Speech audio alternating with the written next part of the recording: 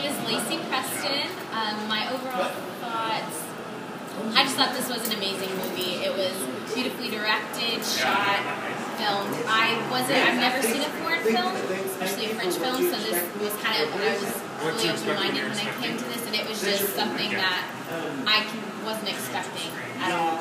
Um, it was inspiring, it was hilarious, funny. I'm in love with Omar now. He is so funny. Um, favorite scene would have to be, I really liked the beard scene whenever, I mean, he was doing all the beard um, things, and I also liked the last scene. That was really, really cool to me.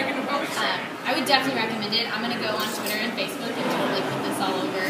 So you have to see it. Um, I did find it very inspiring. I think that it's just an amazing story, and the fact that it's based off of a true story really speaks volumes. And the fact that they can portray it in such a beautiful light is, is awesome. Everyone should go see it.